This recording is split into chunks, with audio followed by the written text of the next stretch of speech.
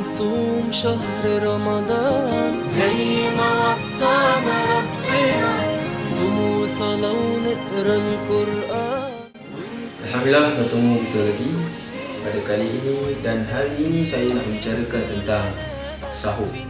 Antara sunnah yang popular berkaitan dengan sahur iaitu disunatkan kita untuk melewat-lewatkan bersahur.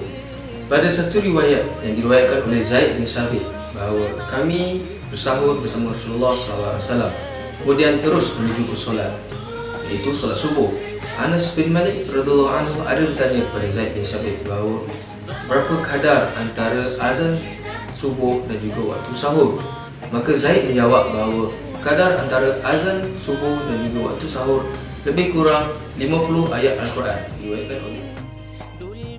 Ya, ada di Malaysia khususnya yang diletakkan bahawa waktu imsak yang mana waktu imsak ni kebiasaannya diletakkan dalam 5 minit ke 10 minit sebelum azan subuh dan disuruh kita berhenti makan. Tapi hakikatnya bila masuk waktu imsak, kita masih lagi boleh makan. Asalkan jangan bila azan dah masuk, buat tak tahu, konon-konon dia tak dengar azan, hang makan. Benda itu jadi masalah. Tapi bila kata dah dengar azan, maka tinggalkan makanan yang mana dah ada dalam mulut, telan dan tidak menjadi masalah sama ada waktu imsak sudah masuk ataupun belum. Kerana waktu imsak itu hanyalah pada saya satu adat dan kebiasaan kita. Dan ya mungkin imsak ni adalah satu waktu yang memberitahu kita supaya berhati-hati. Azan subuh akan masuk pada bila masa.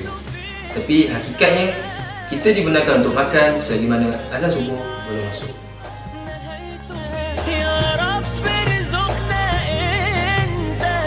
حسن الخاتمة.